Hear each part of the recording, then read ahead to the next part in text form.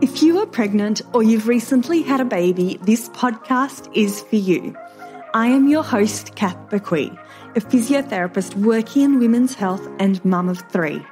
Inside my online program, FitNest Mama, I just love helping support women to care for their bodies during pregnancy, prepare their bodies for birth, and support their after birth recovery, helping them feel confident and strong inside out during this important stage of their lives. In this podcast, join me each week as we dive into all things pregnancy care, childbirth, and postnatal recovery, helping you through every step of the journey.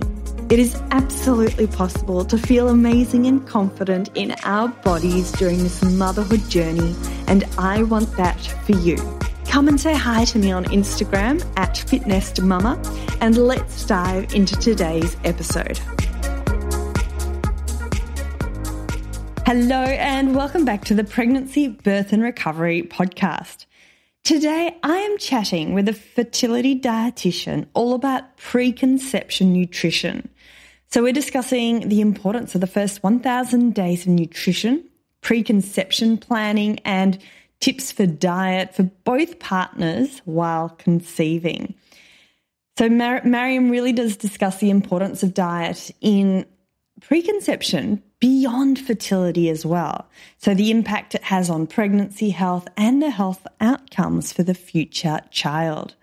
So, in today's episode, we discuss how a dietitian, nutritionist can help with fertility. What does a dietitian do uh, with infertility?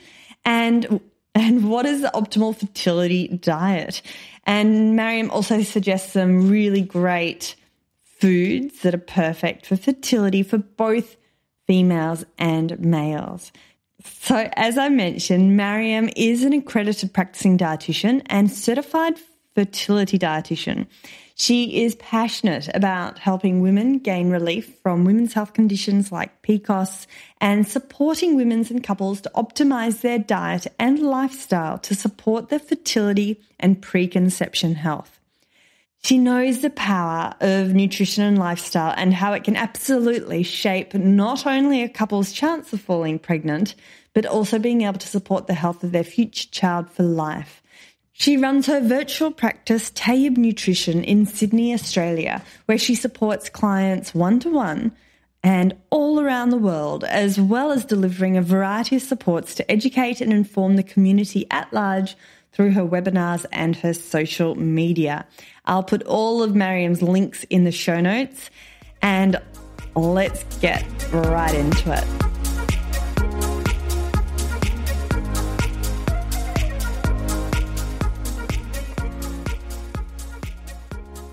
Mariam, thank you so much for joining me on today's podcast. I'm super excited to chat all things fertility diet, optimizing our health before pregnancy and you know what are the good foods to eat? Like all these really important questions before someone actually gets pregnant. So thank you for joining me.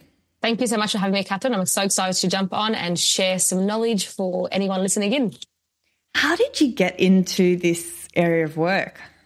Yeah, um, great question. So I think it kind of just happened organically. So I think toward you know during my degree, um, I think one of the key moments that made me really interested in this area is learning was pretty early on in my undergrad actually about what we call the first 1000 days. So this is the body of research which shows that what um, I guess a couple's health before they fall pregnant and during and I guess a woman's health and diet during pregnancy can have a really key role in shaping the future health outcomes of their future child. Um, and yeah, when I found out about this, I thought, wow, this is super interesting. Um, and then towards, I guess, the later in my, my, degree, I realized, hey, you can turn this into a career option, um, learning more about, I guess, the impact of fertility nutrition.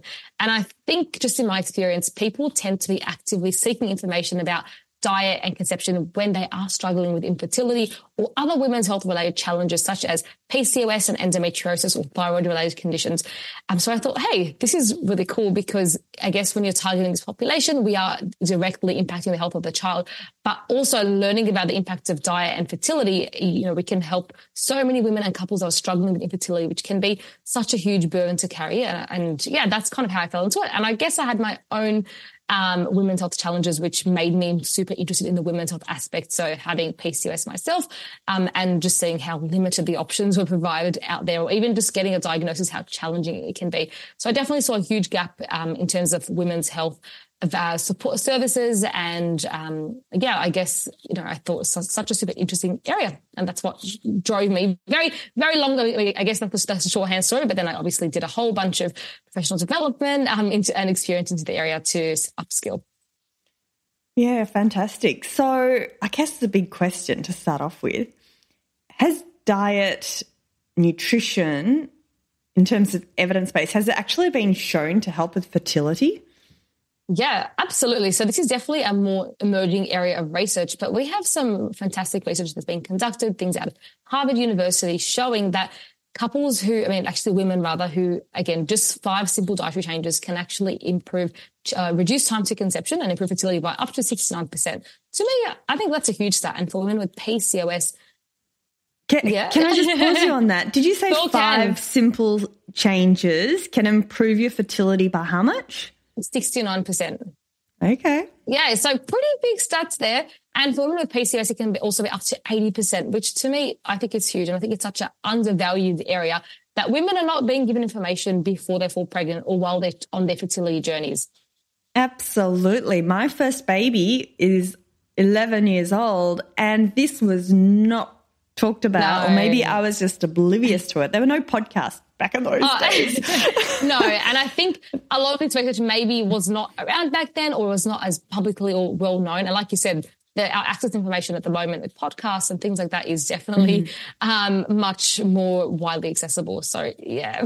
okay. So, I'm definitely going to ask you about those five changes because no doubt they provide the cornerstone or the foundations of everything, right? Absolutely. I feel the key dietary changes to make to support fertility for sure. Five. That sounds really easy and achievable. yeah. And it, it really does. Look, it, look to me as a dietitian, I think it's it is, but a lot of them like it does require, I guess, a change in diet. So for some people who, depending on where your baseline diet is, it might require some, you know, change in behavior. It might require some support. But to me, I think, yeah, look, con- considering what the return on investment of, these changes, I do think they're fairly simple. So mm. if we're happy to, we can get oh, stuck. Well, I do want to get stuck onto those five. but first, so what are the things stopping women from making these changes? Because obviously 69%, I think that's what you said, is, you know, that's an important aspect. Mm. Are women, I guess maybe I'm making that assumption, are women finding it difficult to implement these changes or are women pretty determined by the time they come and see you and want to make mm, some changes mm. with their fertility? Yep. For sure, for sure. Yeah, so that's a great question. Thanks for asking that, Catherine. Um, I think, yeah, often one of the biggest aspects I find is a lack of awareness. So before women come to see me, they might have done a whole bunch of Googling, looking at Instagram, TikTok for the information, and I guess led to uh, made changes that I guess science does not support for improving fertility. And by this stage, you know, they might maybe quite stressed, overwhelmed by different dietary strategies. So I think that's definitely a big factor. Misinformation is a really big uh, factor. Another is time. People are time poor. Um, I guess not everyone, uh, sometimes it's very convenient to lean towards takeout, whether it's for lunch at work or after work. So I think time and energy, um, and even like for some people, cooking ability or even just wanting to cook in the first place, I think that can make things a lot more tricky. Um, and another, I guess, is, you know, support. I guess if women are, you know, they're already mo- their mothers, they're working, what support are we providing to help people make these changes with diet? And this is where, again, sometimes having enlisting a dietitian um, can be a really big uh, factor that can help because of what changes to make. It's also that accountability and support. So because everyone's different. There isn't, you know, the way I um, provide uh, advice to one person might look very different to someone else. Yeah, totally makes sense. Okay, let's go into it, Mariam. What are the five important aspects to help with sure, fertility? Sure. So the first one is really looking at our fat types.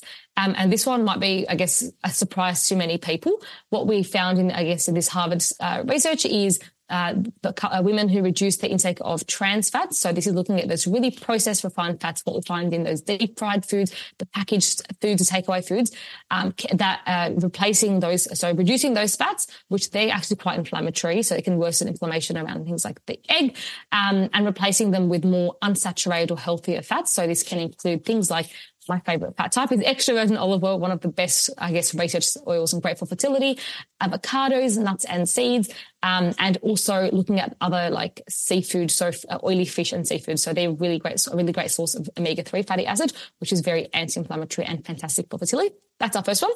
Second is having um, a look at, I guess, our proteins. So um, again, in, in, a very much Western style diet, I think we have a, we're heavy reliant, heavily reliant on many animal proteins um, you know, your red meat, chicken, etc. They're fairly easy. But again, in this research, we know that replacing just 20 grams of animal-based protein per day with a plant protein, so that could look like, you know, if you have a tuna salad for lunch, lunch and you throw in some a four bean mix, or if you're making, for example, um, you know, spaghetti bolognese, maybe you replace some of the red meat with some lentils, um, or having a meat free dinner per week, things like that. Really simple changes that can actually improve ovulatory fertility by 50%. So another whopping stat there. So, so is that due to reducing the meat or is that due to just increasing the variety?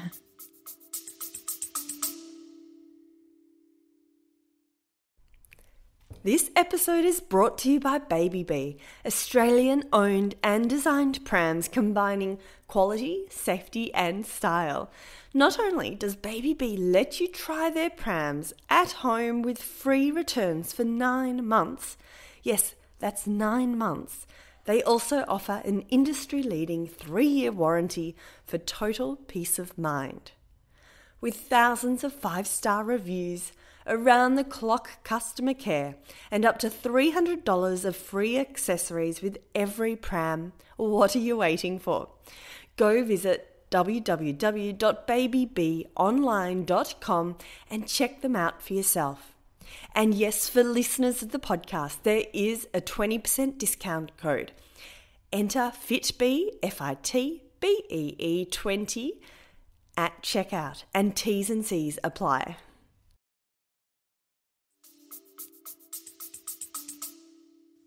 Yeah, look, it's a great question. So it could be a variety of factors here. So when thinking about those animal-based proteins, as we said, those again, those fats we want to limit and avoid. We spoke about trans fats. The other fats that we want to limit for fertility is saturated fats. So a lot of animal-based proteins do naturally have some saturated fats in there, especially if we're thinking about, you know, the fat on um, on meat or the skin on chicken and things like that. So by replacing by, by re- reducing our red, uh, our animal-based proteins, we are naturally reducing some of these saturated fats. And I guess beans and legumes and all these plant-based proteins also have a lot of fertility-friendly benefits um, as a standalone. So they contain plenty of folate, which we know is really fantastic for fertility. It contains fiber, which is again really fantastic to help for things like your gut health, lowering inflammation, um, and they're also you know really satiating. And they're also a low GI carbohydrate as well. So they a lot of when we're speaking about beans.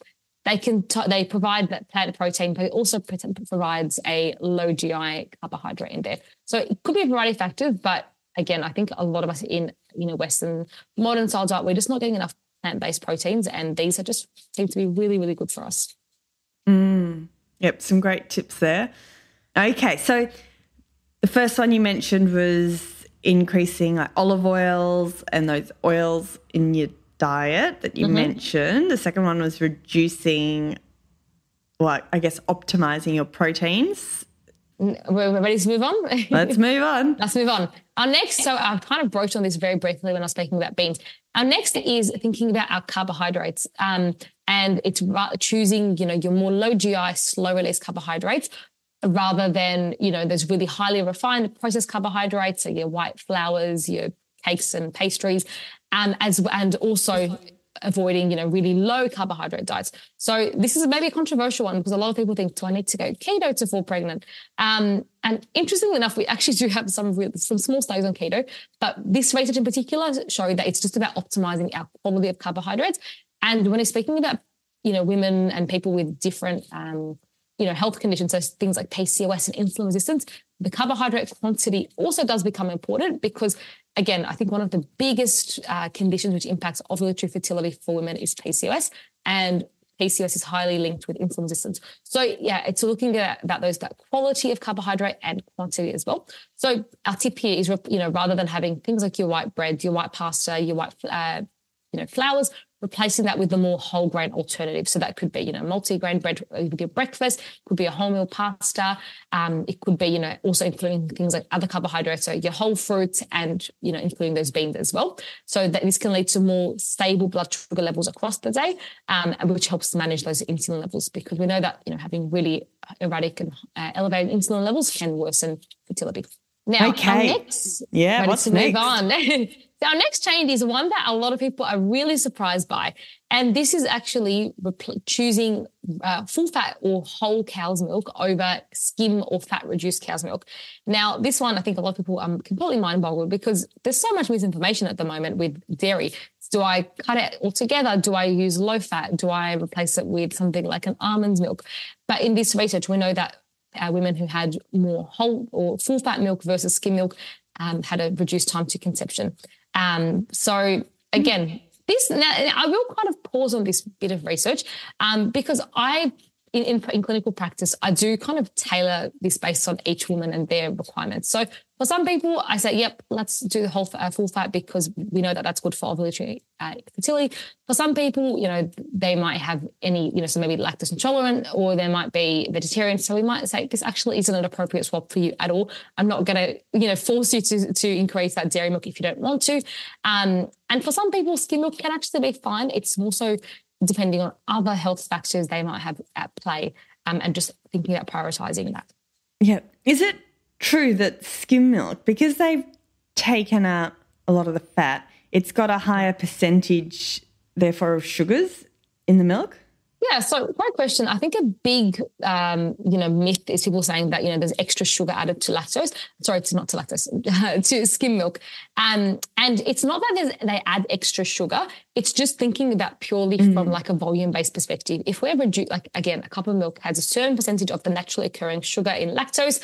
It has a natural percentage of the again the fat which is naturally occurring, and then the proteins when we're reducing or skimming off that fat, then naturally the volume of lactose or sugar will be slightly higher.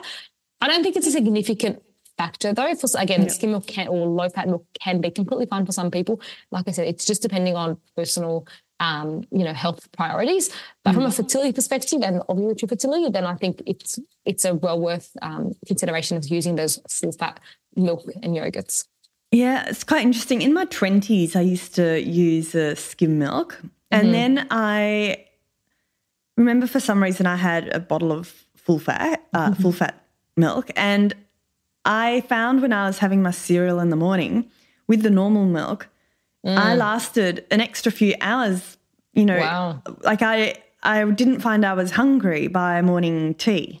So I mm. actually felt fuller for longer just by switching up. So uh, from that point, like it was a great mm. little ex- um, unintentional experiment mm. I did, having my cereal with skim milk versus full fat. But then I then I just switched and I, I never went back.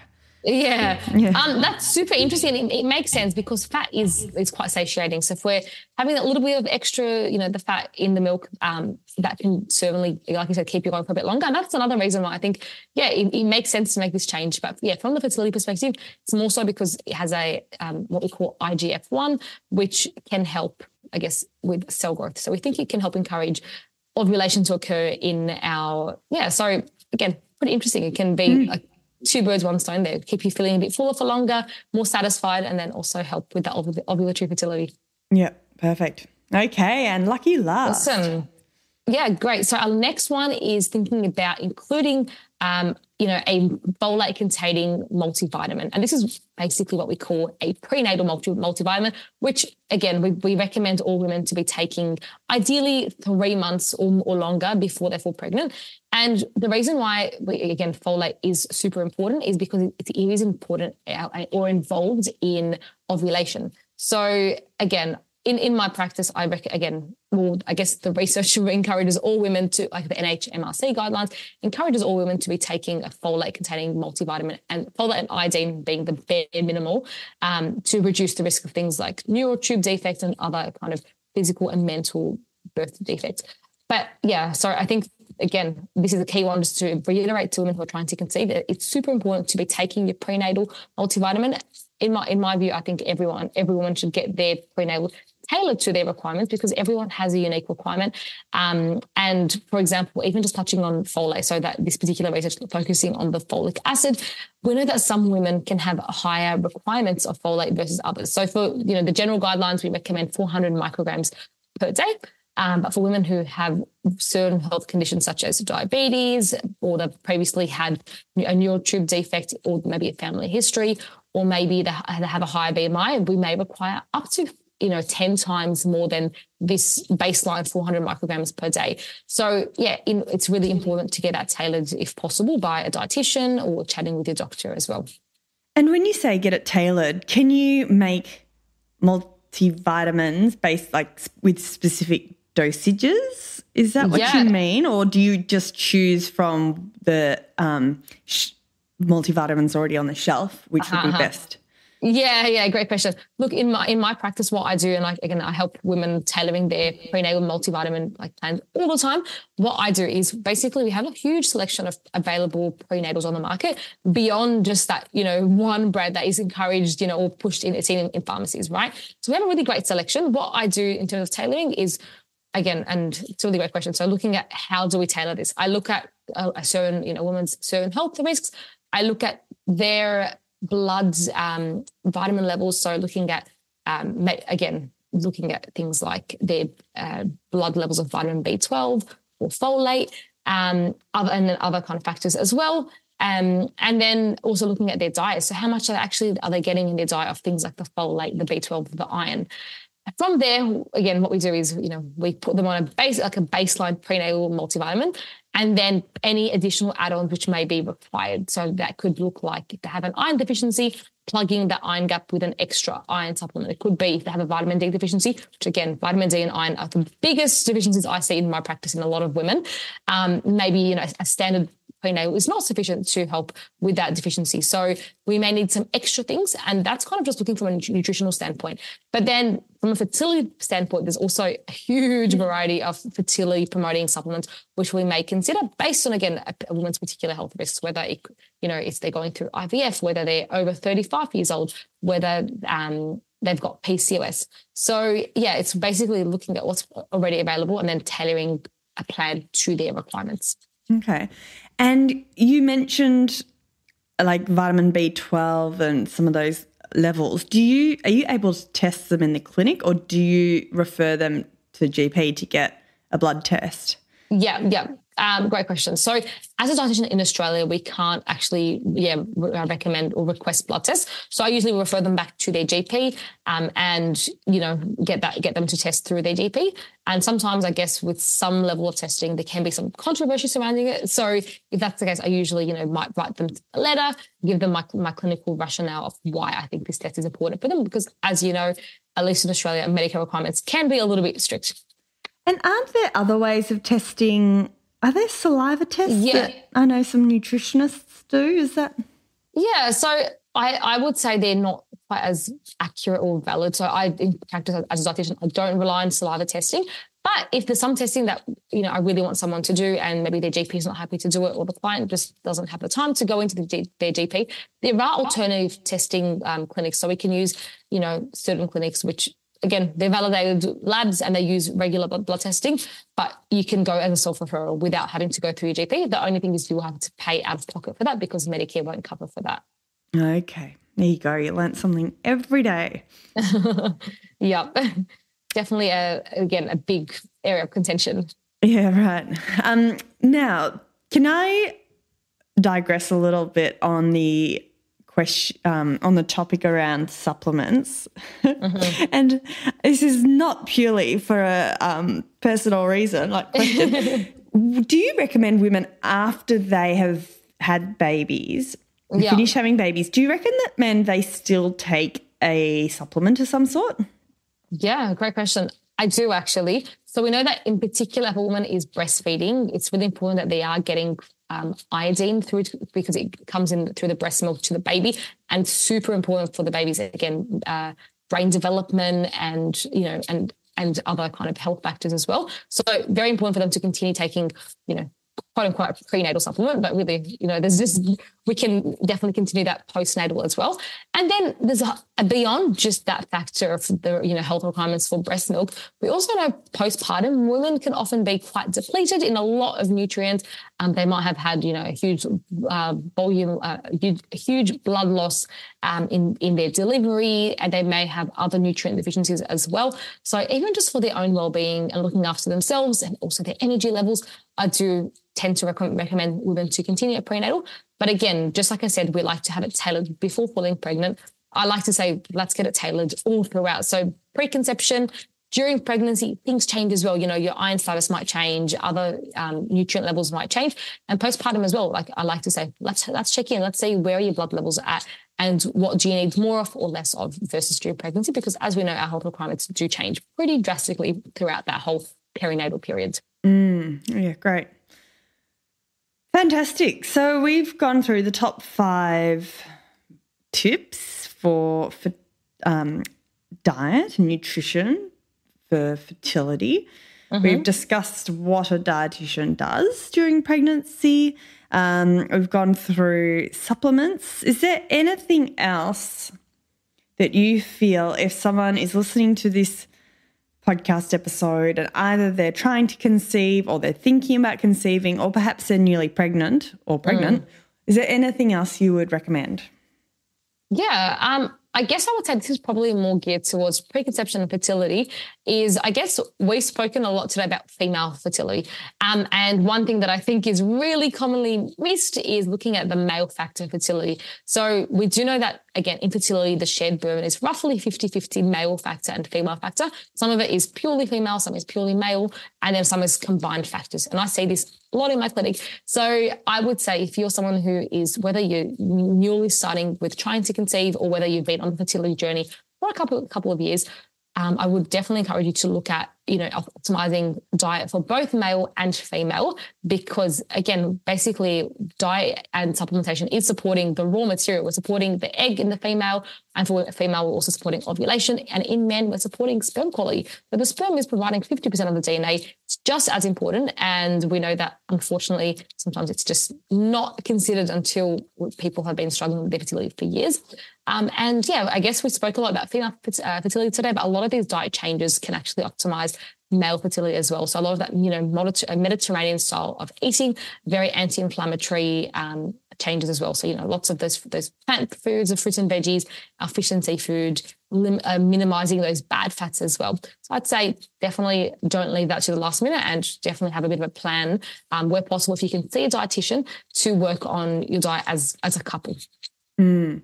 But generally speaking, you're saying that these five tips, well, except for the supplement, yeah. Um, the, the four tips are for the male counterparts too.